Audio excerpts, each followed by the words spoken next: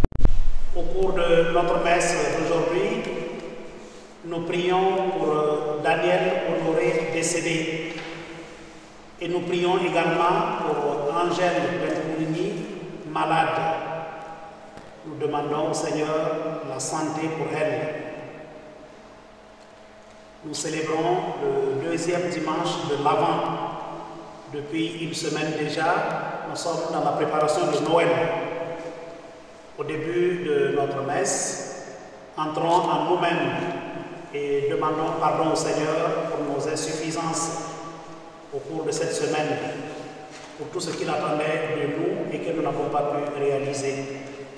Demandons sa miséricorde.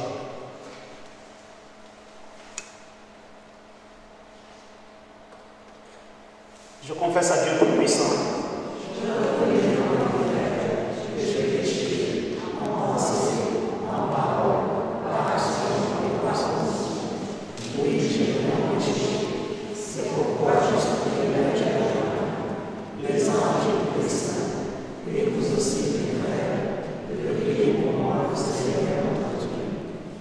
Que Dieu Tout-Puissant nous fasse miséricorde, qu'il nous pardonne tous nos péchés et nous conduise à la vie éternelle.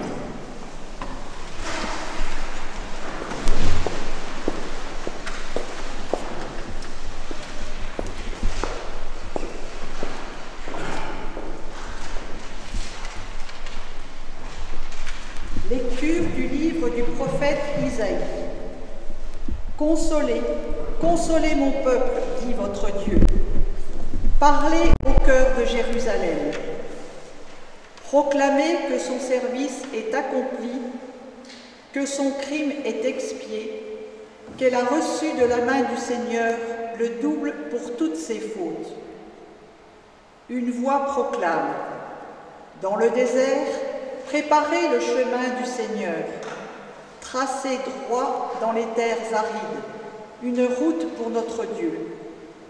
Que tout ravin soit comblé, toute montagne et toute colline abaissée. Que les escarpements se changent en plaine et les sommets en larges vallées. Alors se révélera la gloire du Seigneur et tout être de chair verra que la bouche du Seigneur a parlé. Monte sur une haute montagne, toi qui portes la bonne nouvelle à Sion. Élève la voix avec force, toi qui portes la bonne nouvelle à Jérusalem. Élève la voix, ne crains pas. Dis aux villes de Juda, voici votre Dieu, voici le Seigneur Dieu. Il vient avec puissance, son bras lui soumet tout. Voici le fruit de son travail avec lui et devant lui son ouvrage. Comme un berger, il fait paître son troupeau, son bras rassemble les agneaux, il les porte sur son cœur, il mène les brebis qui allaitent. Parole du Seigneur. Traceront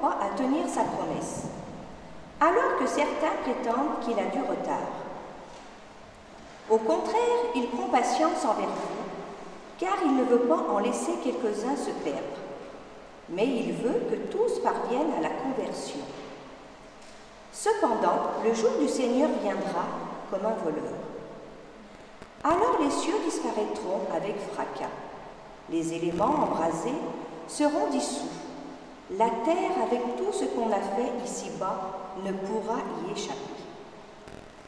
Ainsi, puisque tout cela est en voie de dissolution, vous voyez quels hommes vous devez être.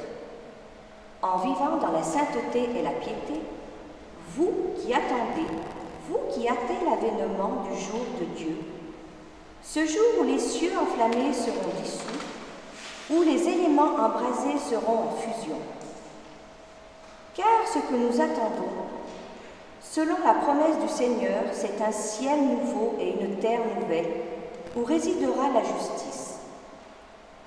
C'est pourquoi, bien-aimés, en attendant cela, faites tout pour qu'on vous trouve sans tache ni défaut dans la paix.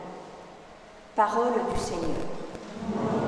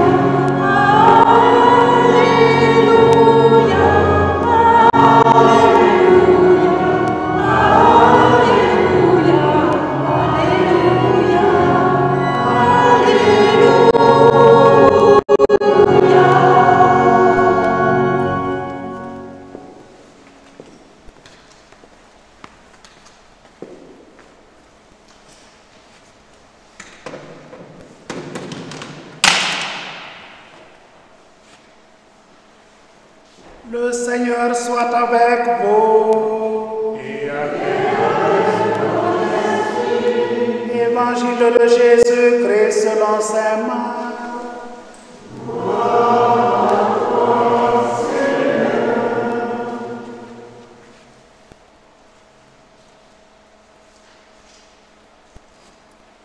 Commencement de l'évangile de Jésus-Christ, Fils de Dieu.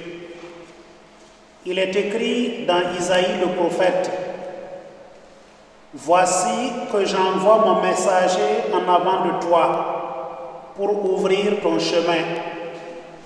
Voix de celui qui crie dans le désert. Préparez le chemin du Seigneur. Rendez droit ses sentiers. Alors Jean, celui qui baptisait, parut dans le désert. Il proclamait un baptême de conversion pour le pardon des péchés. Toute la Judée, tous les habitants de Jérusalem se rendaient auprès de lui et ils étaient baptisés par lui dans le Jourdain en reconnaissant publiquement leurs péchés. Jean était vêtu de poils de chabot avec une ceinture de cuir autour des reins. Il se nourrissait de sauterelles et de miel sauvage. Il proclamait Voici venir derrière moi celui qui est plus fort que moi. Je ne suis pas digne de m'abaisser pour défaire la courroie de ses sandales. Moi, je vous ai baptisé avec de l'eau. Lui vous baptisera dans l'Esprit Saint. Acclamons la parole de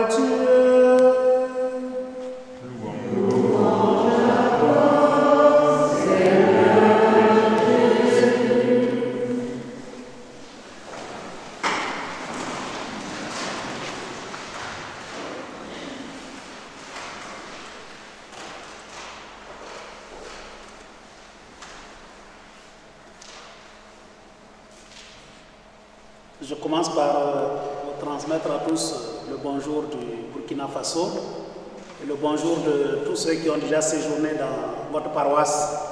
Le dernier à partir, c'est Stanislas, qui est bien arrivé au Burkina, mais il y a eu bien d'autres qui étaient déjà venus et qui me chargent de dire bonjour à tout le monde. Je vous souhaite aussi un bon temps de l'Avent. Nous sommes déjà rendus au deuxième dimanche il ne reste plus que deux autres et c'est la fête de Noël. Cela veut dire que nous pouvons être surpris par la fin de ce temps de l'Avent. L'Église nous propose chaque année quatre étapes pour préparer l'Avent. Disons quatre dimanches. Dimanche passé, le tout premier, les textes nous avaient invités à rester éveillés. Donc, euh, par trois fois, nous avions entendu ce mot veiller. Veillez, veillez car vous ne savez ni le jour ni l'heure. Et ce dimanche nous dit, dans la première lecture, le livre d'Isaïe comme dans l'Évangile, préparez le chemin du Seigneur. Dimanche prochain, ce sera à peu près la même chose. Préparez le chemin du Seigneur. Et le dernier dimanche, c'est l'Annonciation qui nous dit que le Messie est pratiquement parmi nous. Donc voilà les quatre étapes qui nous sont proposées et nous sommes déjà à la deuxième étape. Chacun de nous a ses attentes pour Noël. Les enfants ont peut-être déjà écrit leur lettre au Père Noël. Les crèches sont déjà préparées. Il y en a qui sont toujours en train de les préparer.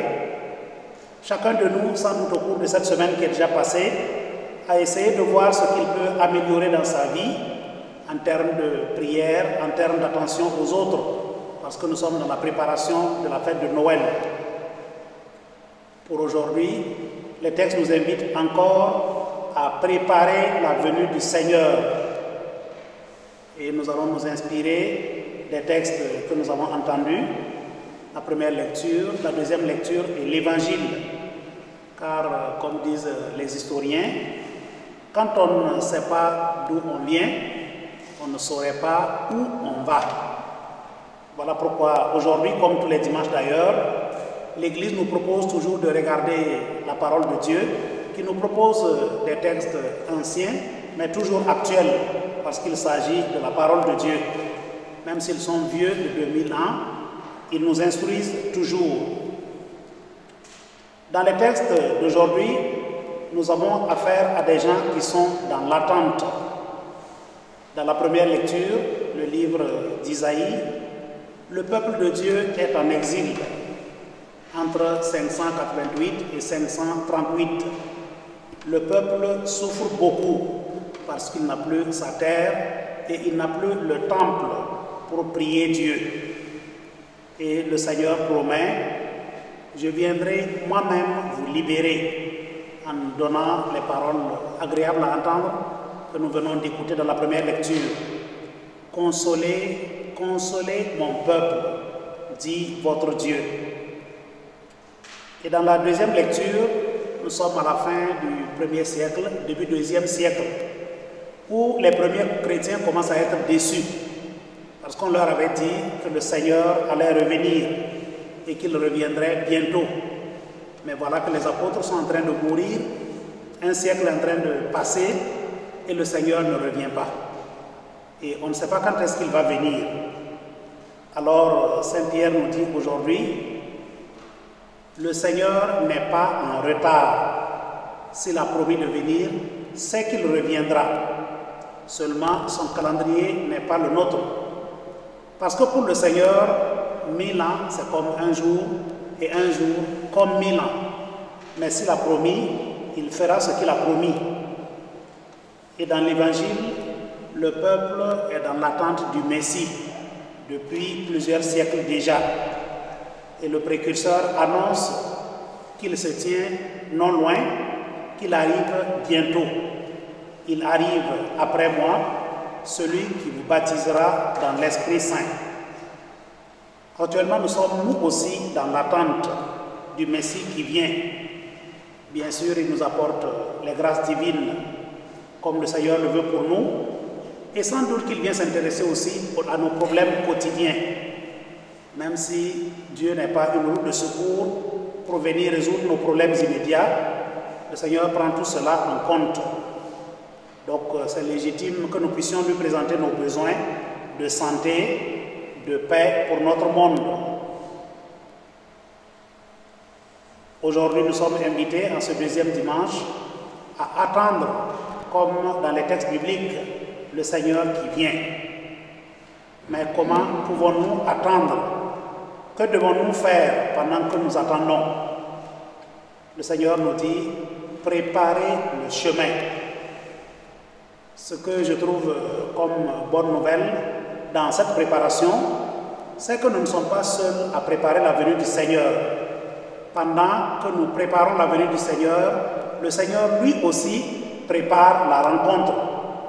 Donc comme un chant à deux voix, il y a ce que nous, nous devons faire et ce que le Seigneur lui-même va faire pour que la rencontre puisse avoir lieu. Dans le livre d'Isaïe, il nous est dit, préparez une route pour notre Dieu. Tout ravin sera comblé, toute montagne, toute colline seront abaissées. Les chemins tortueux deviendront droits. Voilà ce qui nous est demandé. Vu d'Afrique, ces paroles résonnent, parce que comme nous n'avons pas toujours de bonnes routes, quand nous avons un événement important, c'était les, élections dans mon pays, le 22 novembre, donc quand il y a un événement important, nous sommes toujours obligés de refaire les routes quand le président de la République doit passer par exemple. Donc quand on dit préparer une route pour notre Dieu, ça a une résonance particulière, parce qu'on est habitué à cela. Le Seigneur nous demande donc de préparer le chemin. Et ce que lui-même il va faire, c'est que le Seigneur se chargera de se révéler, parce que notre préparation ne suffit pas. Tous en même temps, dit le Seigneur, tous verront que la bouche du Seigneur a parlé. Je laisse à chacun le soin de voir quelles sont ces collines et ces montagnes à rabaisser, ces ravins à combler. Chacun en fouillant dans son esprit et dans son cœur verra ce qu'il doit faire au quotidien pour préparer cette venue du Seigneur. Dans la deuxième lecture, ce qui nous est demandé, c'est de vivre dans la sainteté pendant que le Seigneur vient. Je relis le passage de Saint Pierre. Puisque cela est en voie de dissolution, vous voyez quels hommes vous devez être en vivant dans la sainteté et la piété, vous qui attendez, vous qui hâtez l'avènement du jour de Dieu. Et à la fin, c'est pourquoi, bien-aimés, en attendant cela, faites tout pour qu'on vous trouve sans tâche ni défaut dans la paix. Le Seigneur veut nous trouver irréprochables quand il viendra. Et lui-même nous rassure que la venue est certaine. Il vient pour préparer un ciel nouveau et une terre nouvelle. Enfin, dans l'Évangile, il nous est demandé encore une fois de préparer la venue du Seigneur en traçant une route, une route dans notre cœur et dans notre esprit. Car si nous nous préparons, le Seigneur vient pour nous baptiser dans l'Esprit Saint, comme il l'a promis. L'Évangile ajoute qu'au temps de Jean, les gens se préparaient en se convertissant et en disant publiquement leurs péchés pour avoir le pardon de Dieu. Donc en préparant cette homélie, j'ai été amusé en arrivant à cette partie, en voyant que les gens pouvaient venir rencontrer Jean discrètement, mais même s'il le fallait, ils le faisaient publiquement, parce qu'il faut tout faire pour préparer la venue du Seigneur.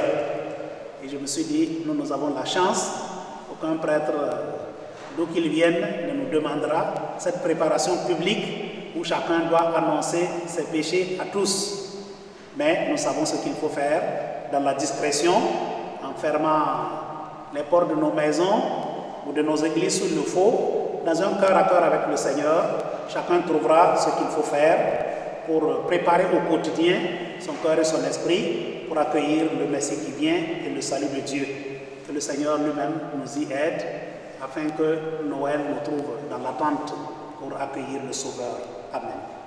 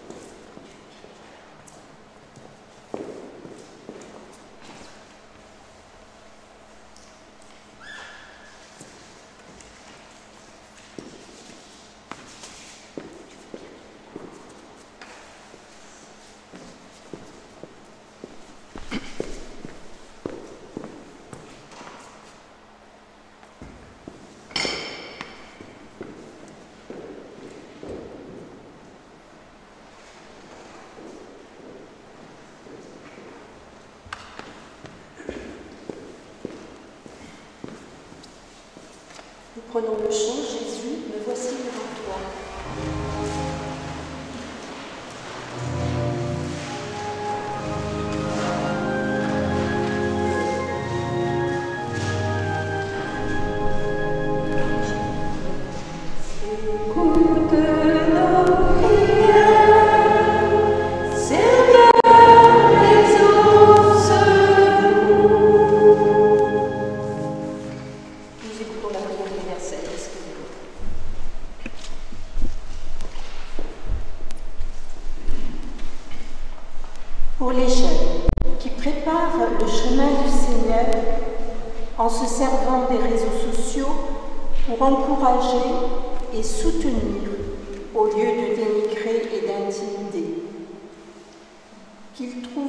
un chemin de fraternité, nous t'en prions, Seigneur.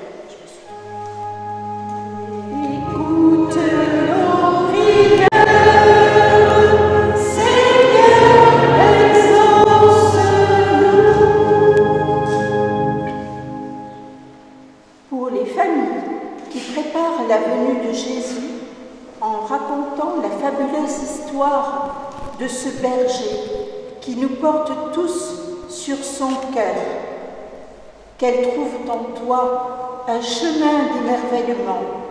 Nous t'en prions, Seigneur.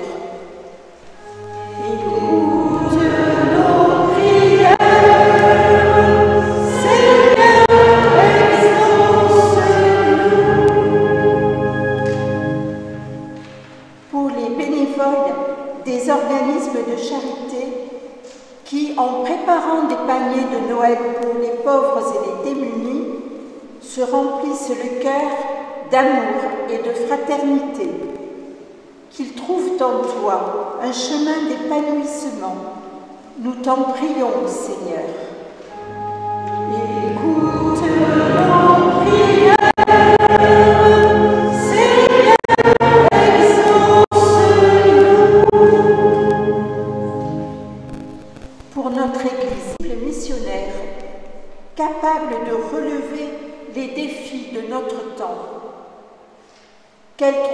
toi un chemin d'espérance.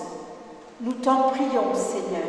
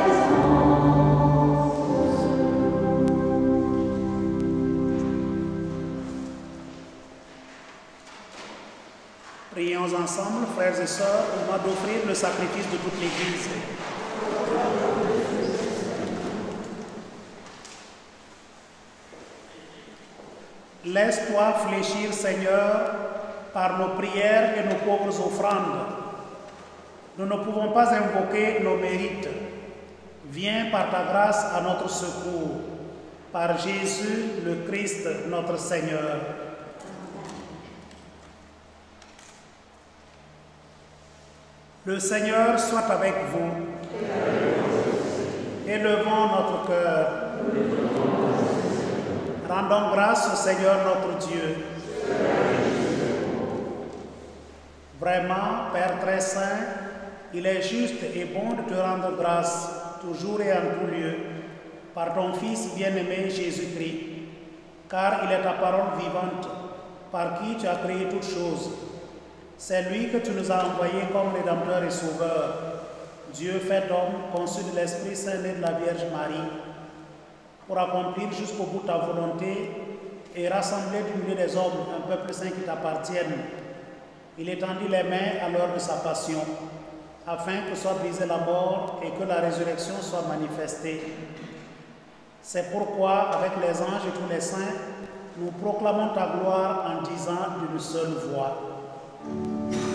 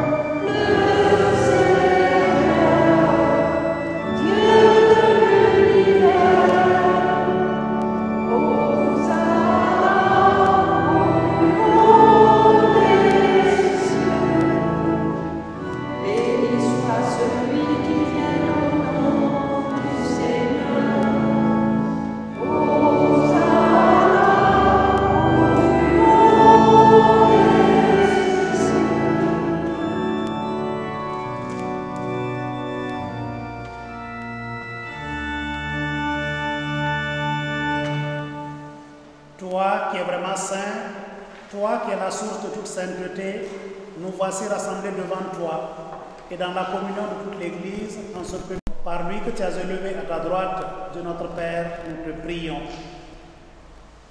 Sanctifie ces offrandes en répandant sur elles ton esprit, qu'elles deviennent pour nous le corps et le sang de Jésus, le Christ, notre Seigneur.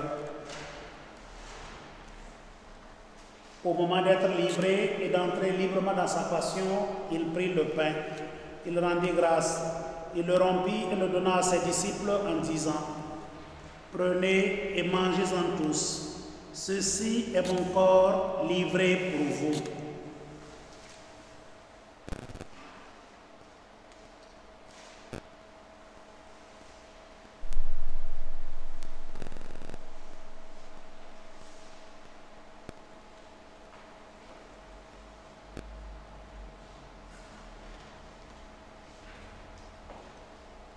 De même, à la fin du repas, il prit la coupe. De nouveau, il rendit grâce et la donna à ses disciples en disant, Prenez et buvez-en tous, car ceci est la coupe de mon sang, le sang de l'alliance nouvelle et éternelle, qui sera versé pour vous et pour la multitude en rémission des péchés. Vous ferez cela en mémoire de moi.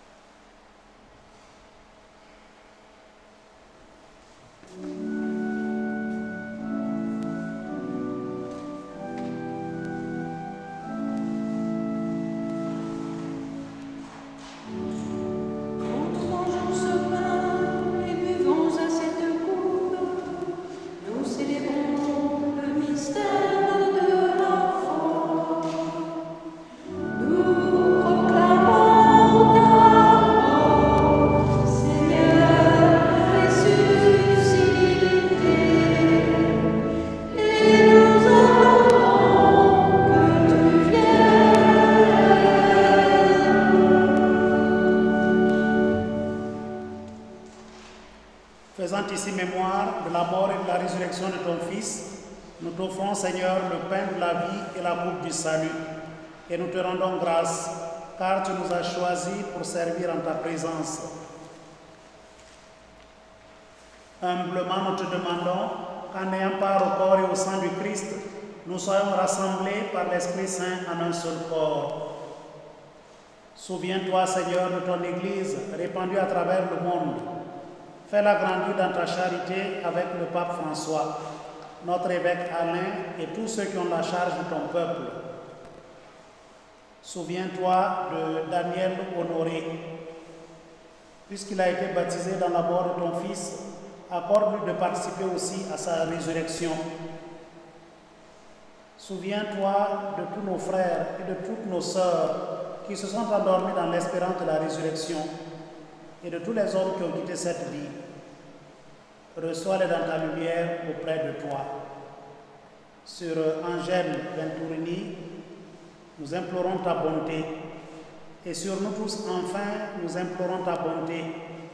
Permets qu'avec la Vierge Marie, la bienheureuse Mère de Dieu, avec Saint Joseph son époux, avec les apôtres et les saints de tous les temps qui ont vécu dans ton amitié, nous ayons part la vie éternelle et que nous chantions ta louange par Jésus-Christ, ton Fils bien-aimé.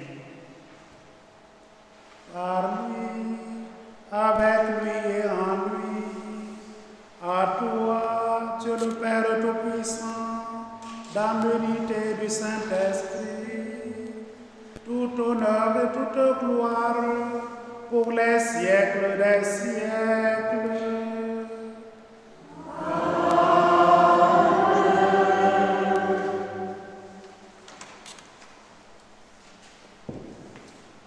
Comme nous l'avons appris du Sauveur et selon son commandement, nous osons dire Notre Père, cieux, que ton nom soit sanctifié, que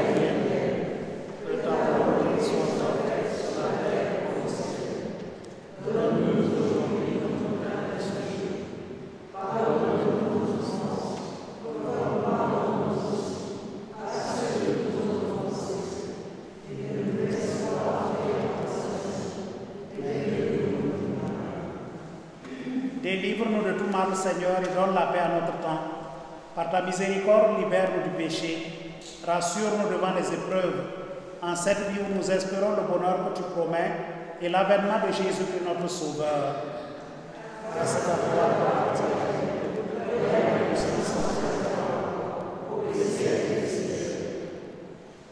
Seigneur Jésus-Christ, tu as dit à tes apôtres, je vous laisse la paix, je vous donne ma paix. Ne regarde pas nos péchés, mais la foi de ton Église. Pour que ta volonté s'accomplisse, donne-lui toujours cette paix et conduis-la vers l'unité parfaite, toi qui règnes pour les siècles des siècles. Que la paix du Seigneur soit toujours avec vous. Dans la charité de Christ, nous faisons un geste, un signe de paix.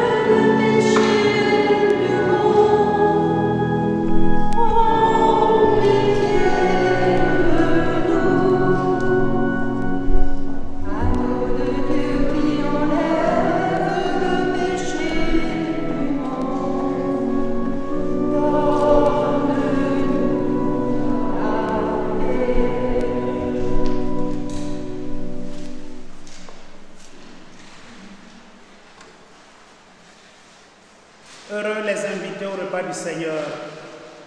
Voici l'agneau de Dieu qui enlève le péché du monde.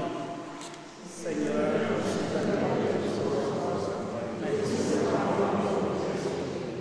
que le corps et le sang de Christ nous conduisent à la vie éternelle. Amen.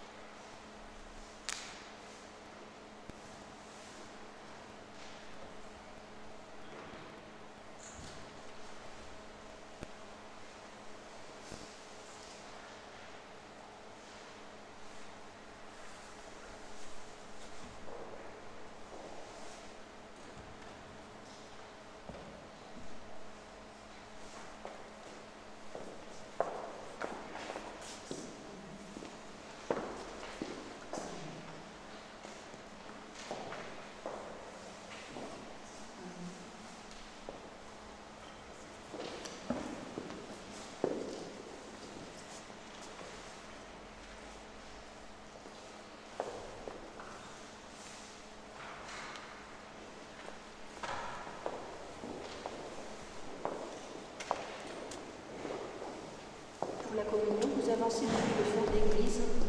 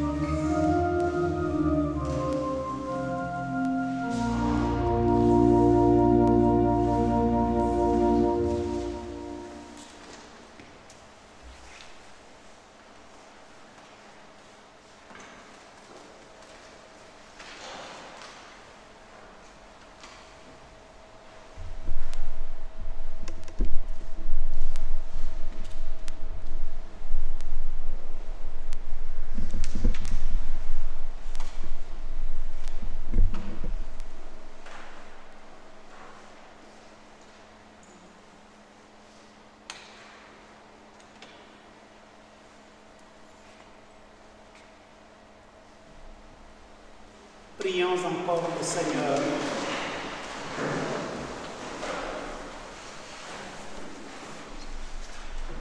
Plein de reconnaissance pour cette Eucharistie, nous te prions encore, Seigneur. Apprends-nous dans la communion à ce mystère le vrai sens des choses de ce monde et l'amour des biens éternels. Par Jésus, le Christ, notre Seigneur. Le Seigneur soit avec vous. Que Dieu Tout-Puissant vous bénisse, le Père, le Fils et le Saint-Esprit. Allez et demeurez dans la paix de Christ. Bon dimanche à tout le monde. Merci aux enfants qui nous ont aidés. Merci à la chorale et à tout le monde d'être venus. Des annonces. Nous sommes premier dimanche du mois. Il y a donc la quête pour les prêtres qui n'ont pas suffisamment de- d'intention de, messe. Et puis une chose très importante, le Père Jean-Louis recherche un vélo d'appartement pour sa rééducation. Donc si quelqu'un parmi vous euh, a un vélo, euh, vous pouvez lui dire à la sortie ou le communiquer à mon canard. Voilà, la messe dimanche prochain ici à 11h. Nous menons le chant Vierge Sainte, Dieu t'a choisi.